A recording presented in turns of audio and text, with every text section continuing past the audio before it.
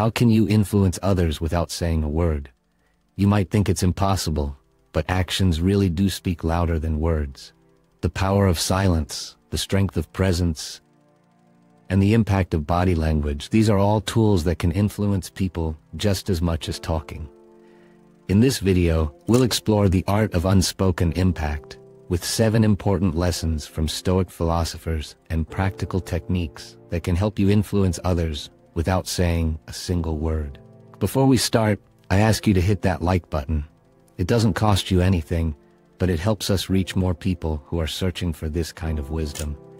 And if you're ready to learn how to influence others silently, let's get started.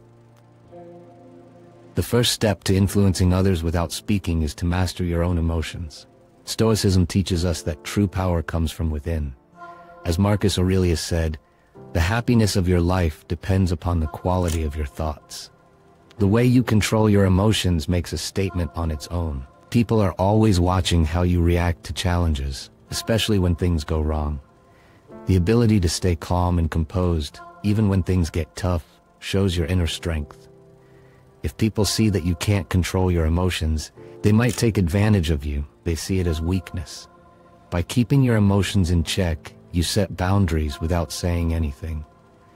You show others that you are not easily shaken, that you are not a victim of what happens around you, and this makes people treat you with more respect. Epictetus said, it's not what happens to you, but how you react to it that matters.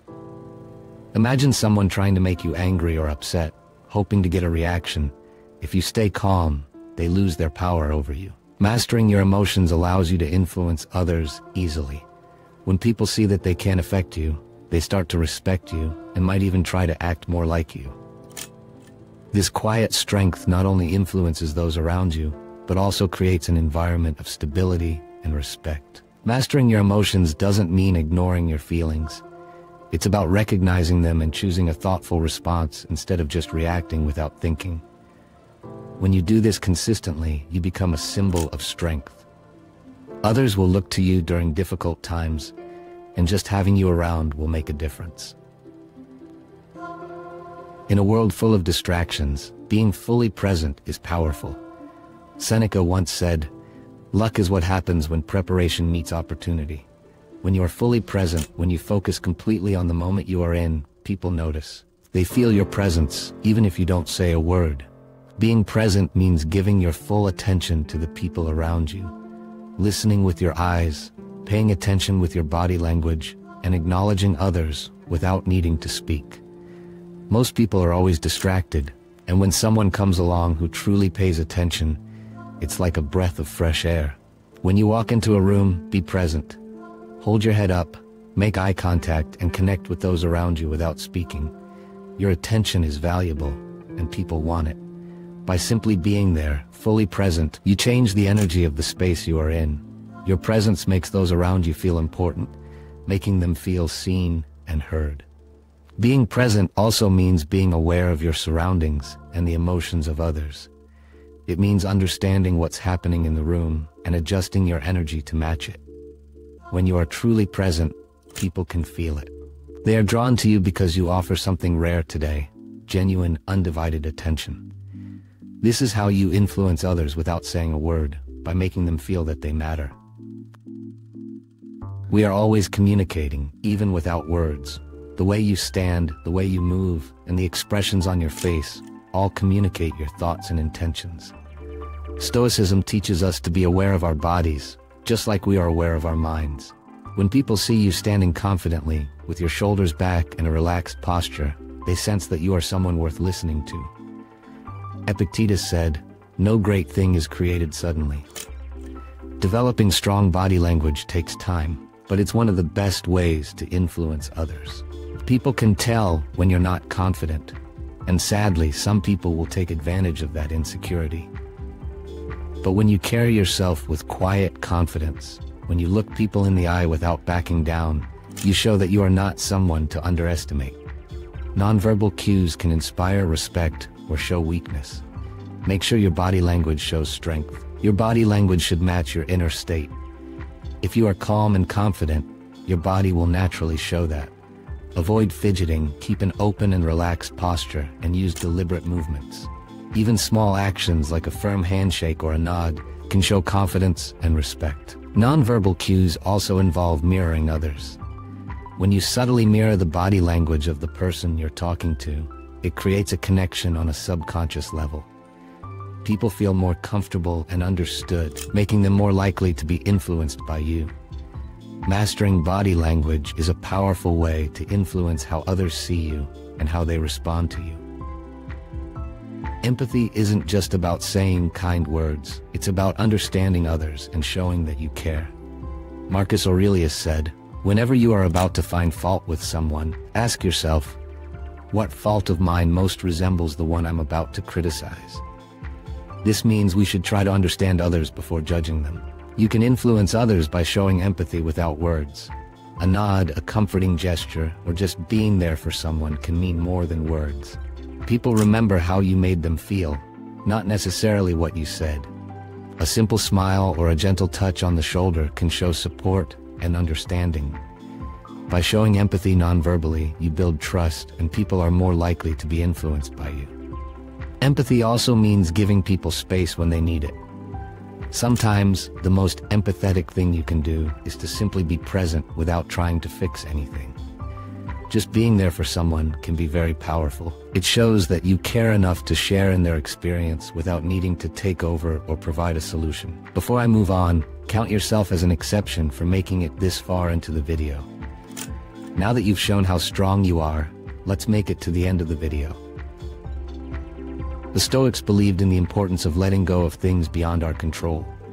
As Epictetus said, wealth consists not in having great possessions, but in having few wants.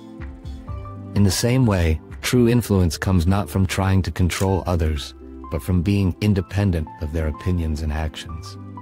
When you don't need validation from others, people notice.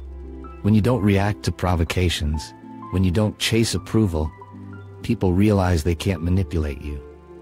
This frustrates those who want to control you for their own benefit. People are often selfish and try to use others to get what they want, but when they see they can't get to you, they either respect you or leave you alone. Stoic detachment isn't about being cold. It's about not letting others control your happiness or self-worth. When you show that you are unaffected by external praise or criticism, you set a powerful example of inner strength that influences others. Detachment also helps you stay focused on what really matters. It keeps you from getting caught up in small conflicts or the drama that others might try to drag you into.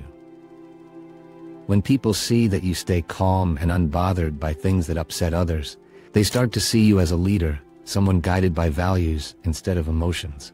This quiet strength can inspire others to be more like you. Silence is a powerful way to set boundaries. Seneca said, as is a tale, so is life. Not how long it is, but how good it is, is what matters. The same goes for our interactions with others. Setting boundaries doesn't have to be confrontational. It can be about silently showing what you will and won't accept. When someone crosses a line, sometimes the best response is no response. People often want a reaction. They want to know they've upset you. By staying silent, you deny them that satisfaction. You show that their behavior is beneath you and not worth acknowledging. People can be awful. They often test how much they can get away with and how much they can use you. By refusing to engage, you set a clear, silent boundary that influences how they treat you in the future. Silence can be more effective than arguing, and it can show that you refuse to accept disrespect. Setting boundaries with silence also means knowing when to walk away there is strength in not giving your energy to things that don't serve you.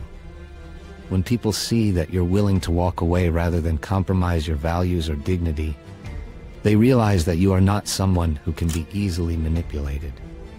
This silent strength makes others respect your space and your principles.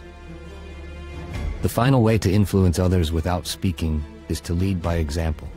Marcus Aurelius said, Waste no more time arguing about what a good man should be. Be one. The best way to influence others is to live in a way that others want to follow. When you show discipline, kindness, integrity, and resilience, people notice. You don't need to preach or convince them, your actions do the talking. People are always watching, And when they see someone living by their values, staying true to their integrity even when it's hard, they are inspired to do the same. Leading by example means being consistent in your actions and being the person you say you are, even when no one is looking.